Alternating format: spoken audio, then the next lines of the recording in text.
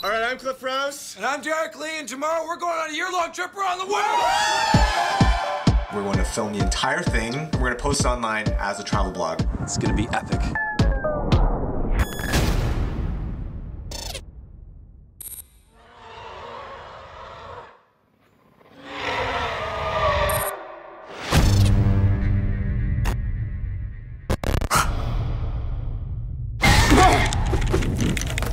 Oh, oh my god.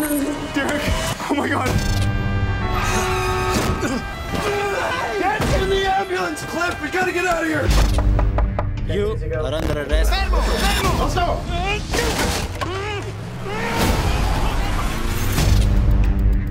I don't want to stop the trip. You're freaking me out right now. Just stop.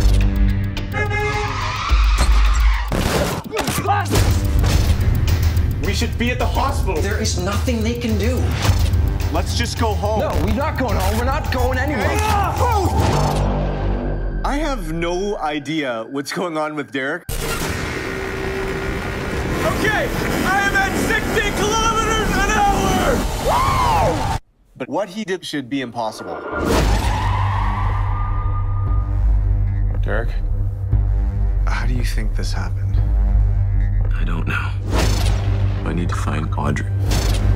It starts with her. Are you okay? I feel fine.